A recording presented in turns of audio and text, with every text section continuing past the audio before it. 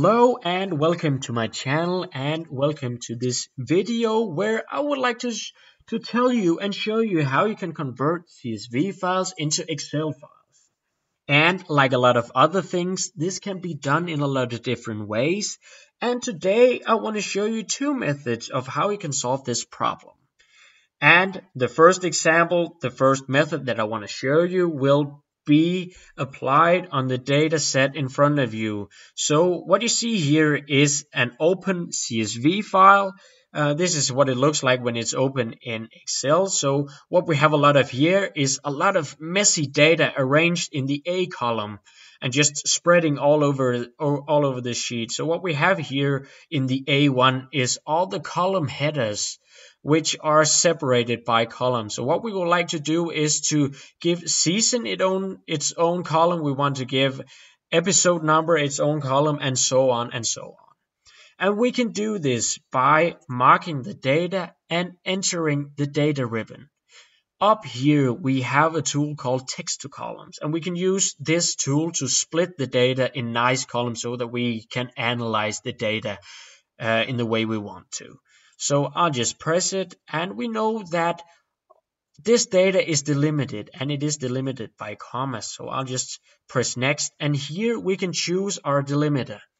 And in the bottom here we can see the preview. So if the delimiter is tab, my data will just come out messy again. But if I press the comma, we'll see that Excel arranges it in a lot of nice columns.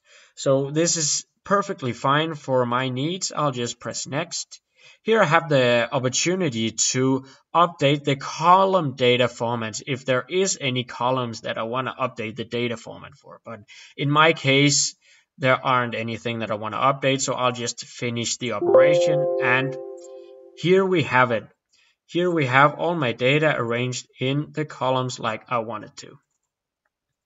Okay, so the other method, the other example that I want to show you is if you have a CSV file stored somewhere else on your computer or somewhere else um, and want to import it into your um, your Excel sheet, you can do that by using Power Query and again entering the data ribbon and um, using this tool from text slash CSV.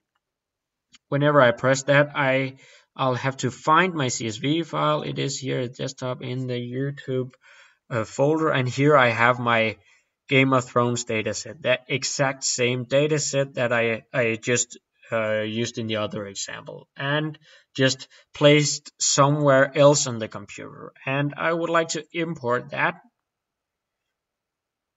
And as I press this, Excel already knows that it is a CSV file and um, chooses the comma as the default delimiter. So here we have it. All the data is arranged perfectly fine. I'll just load it into the Excel sheet. And here we have it arranged in, in a table um, and ready to be analyzed. Um, so what we've done here is we've created a connection between this open Excel sheet and the other CSV file st stored somewhere. Um, and here we have the connection. So if the CSV file is updated with additional data, we can just refresh this and the data is automatically loaded into this table. We can also um, update it by refreshing the table. It doesn't really matter. So that was pretty much it. I hope you enjoyed the video. I hope you learned something and that I answered your questions. Um, if you uh, if you like the content, I would be really happy if you like the video and also subscribe to my channel so that you can follow along when I post future content regarding Excel and pivot tables, Power Query, Power BI, Power Automate, and all those kind of things. So have a really nice day and thank you for today.